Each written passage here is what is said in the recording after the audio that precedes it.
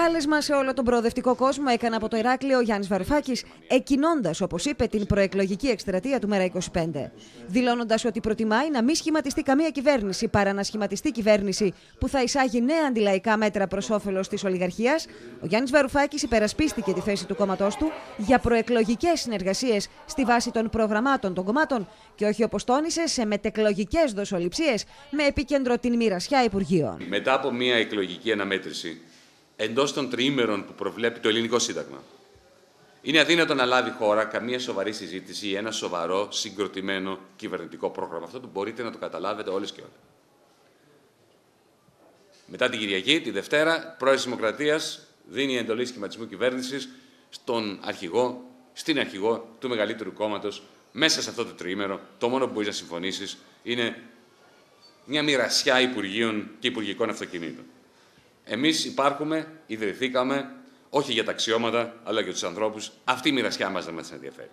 Το κάλεσμα του Γιάννη Βαρουφάκη προ κινήσει, κόμματα και συλλογικότητες από τον εξοκοινοβουλευτικό χώρο προς τον κόσμο του ΣΥΡΙΖΑ και τον κόσμο που, όπως είπε, εμπνεύστηκε από τον Ανδρέα Παπανδρέου, συνοδεύτηκε από την επίκληση στο προήμιο της διακήρυξης της 3η του Σεπτέμβρη. Η διακήρυξη της 3η του Σεπτέμβρη, που κάποιοι από εμάς συνεχίσουμε να την τιμούμε, αντίθετα με το Πασόκ, στην πρώτη σελίδα λέει κάτι πολύ σοφό. Η ρίζα της συμφοράς της χώρας βρίσκεται στην εξάρτηση της πατρίδας μας.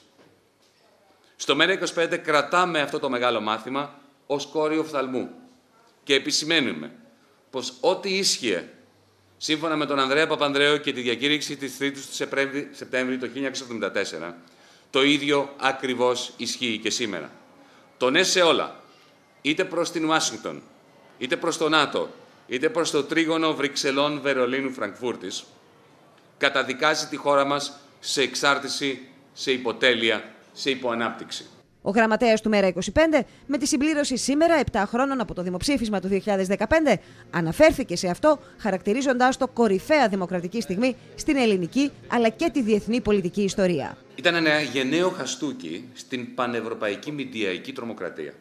Ήταν μια ηχηρή καταδίκη της μαύρης προπαγάνδας. Ανεξάρτητα από το αν εκ των υστέρων ακυρώθηκε το αποτέλεσμα. Η πρωτοφανής αυτή δυναμική σηματοδοτεί μια μεγάλη ρογμή στην μεταδημοκρατική Ελλάδα. Τόσο ο γραμματέας του ΜΕΡΑ25 όσο και η Σοφία Σακοράφα, που τον συνόδευε, ξεκίνησαν τη συνέντευξη τύπου, την οποία παραχώρησαν στο Ηράκλειο με αναφορά στο να ύμνει στο Πέτρο Μιλιαράκη, παρουσιάζοντας και ένα βίντεο στο οποίο αποτύπωνε τις απόψεις του απόσπασμα από την εκπομπή Αντιθέσεις της Κρήτη TV. Ο Γιάννης Παπαδοπάκη παρέδωσε λιγότερο χρέο ακριβώς 10 δισεκατομμύρια, 932 εκατομμύρια και 903.000 ευρώ. Ήταν πάντα κοντά μας ο Πέτρος. Δεν ήταν άνθρωπος αλλά δεν ήταν και ποτέ δηλός. Και γι' αυτό κρατήθηκε πάντα στη σωστή πλευρά της ιστορίας.